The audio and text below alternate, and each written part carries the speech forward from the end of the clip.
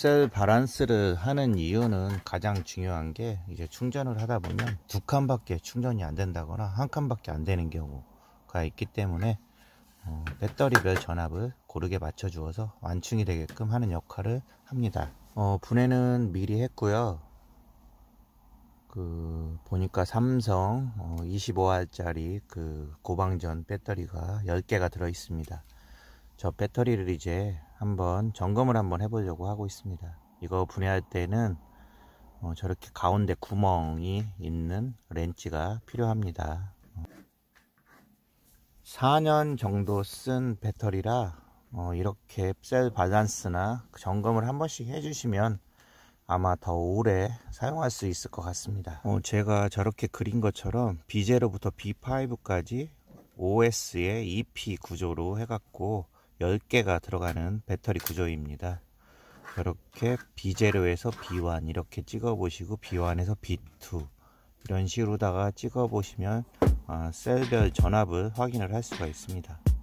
그래서 한번 찍어서 어느, 어느 정도 나오나 한번 확인을 한번 해보겠습니다.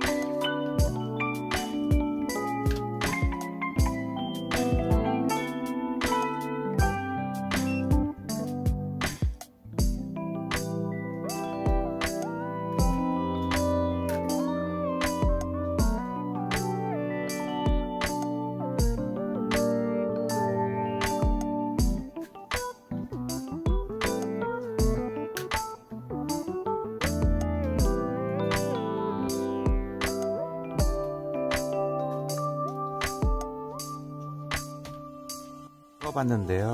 3.82에서 4.03까지 좀 편차가 있죠.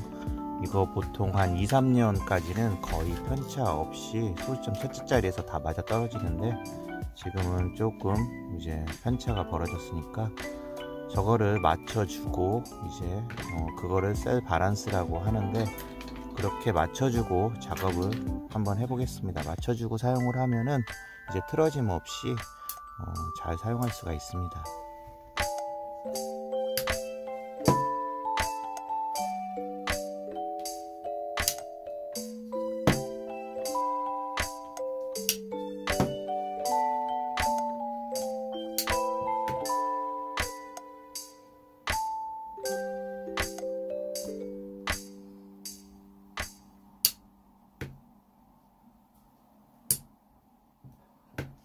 장비는 B6라는 바란스 및 뭐 방전 이런 거 하는 장비인데요.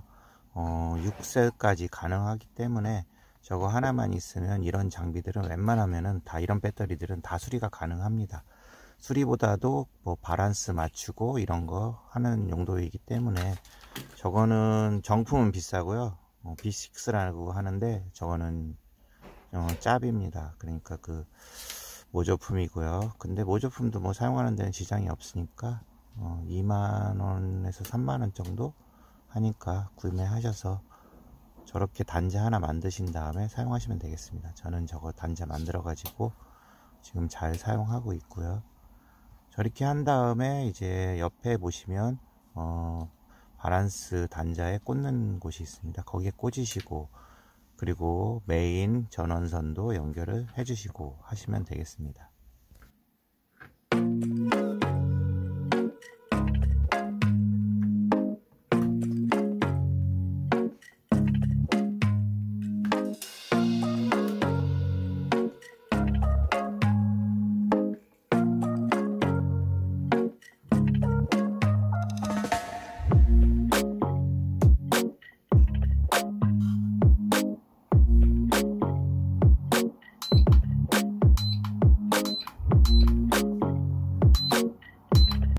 메뉴에 가시면 이제 바란스라는 게 있고 충전이라는 게 있고 방전이라는 게 있고 뭐 종류들이 있는데 어, 오늘은 이제 바란스를 맞출 거니까 바란스에다 맞춰 놓고 어, 이제 암페어스는 뭐 1암페어, 2암페어, 5암페어인가 6암페어까지 가능한데 높이 할 필요는 없고요. 그냥 한 적당하게 2암페어나 뭐 3암페어 이 정도 하시면 되고요. 그 다음에 옆에 OS로다가 오스에다가 맞춰주시면 되고요. 그런 다음에 스타트 누르신 다음에 보시면은 이제 각 그 셀 단에 전원이 나, 전압이 나오는데 그 전압을 이제 자기네들이 스스로 맞춰주면서 서로 방전시키고 충전하면서 맞춰주더라고요. 그러면은 이제 종료가 됩니다. 근데 이제 이거 할 때는 솔직히 뭐 4.2V까지 그냥 다 만충을 시켜버리면 자동으로 다가 바란스가 맞춰지기 때문에 저는 이 방법을 처음에 이렇게 설명만 하고 이제는 어, 충전으로다가 해가지고 어, 완전히 충전을 그냥 시켜버리겠습니다. 그럼 어차피 다 동일하게 4.2V가 나오기 때문에 바란스는 딱 맞춰지게 되더라고요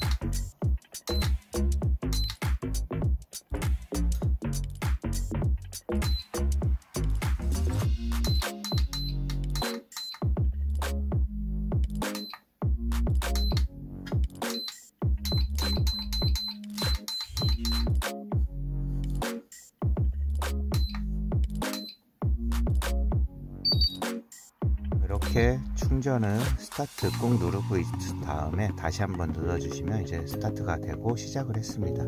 보시면 이제 각 단의 전압이 나오는데 저 전압이 이제 동일하게 다 충전이 되고 나면 얘가 경보음이 울리면서 바로 종료가 됩니다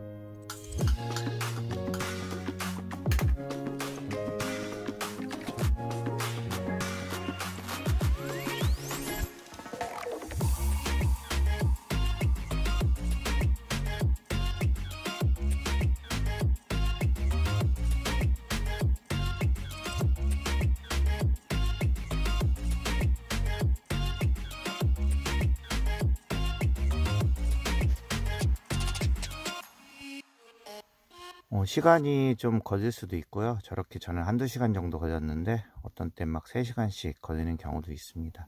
일단 충전은 4.2V로다가 전부 다 동일하게 어, 완충을 시켰고요. 완충이 되는 경우에는 저런 식으로다가 이제 경보음이 울리면서 종료가 됩니다 자동으로다가. 그래도 배터리 작업을 할 때는 항상 옆에 두고 지켜보시면서 작업하시기 바랍니다. 왜냐하면 배터리가 거의 폭발물이기 때문에 폭발하면 위험하고 하니까 항상 옆에서 어, 두고 어디 가지 마시고 지켜보시면서 작업을 꼭 하시기 바랍니다. 혹시 모르니까 다시 한번 셀 밸런스를 다시 한번 확인을 한번 해 보겠습니다. 뭐 당연히 뭐 다 맞춰져 있겠죠. 뭐 4.2V 완충을 했기 때문에 바란스는 이제 정확하게 다 맞춰져 있습니다. 이렇게 작업을 마무리를 하고 이제 정리를 한번 해 보겠습니다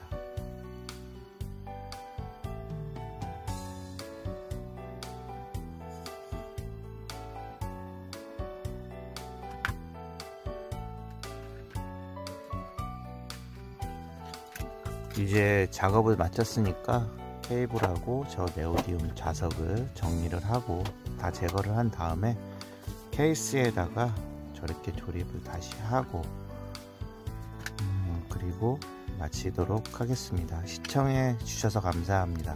구독과 좋아요는 꼭 좀 부탁드리겠습니다. 감사합니다